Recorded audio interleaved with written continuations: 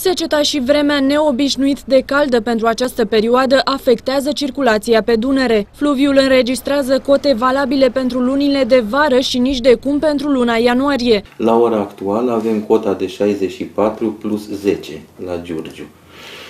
De circulat pe șenal și în zona pragului să circulă cu un pescaj de 2,50 m.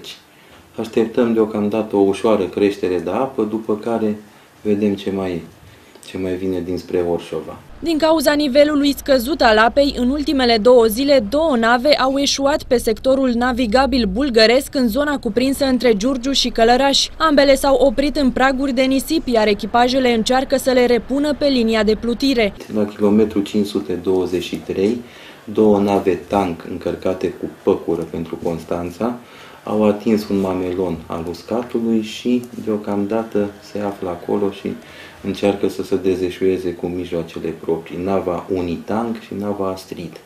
De la începutul anului s-au înregistrat 12 nave eșuate. Cotele apelor Dunării sunt la mai puțin de jumătate față de media multianuală. Specialiștii speră la o creștere a debitului fluviului, însă prognozele nu arată căderi importante de ploi sau ninsori în Europa nici în următoarele două săptămâni.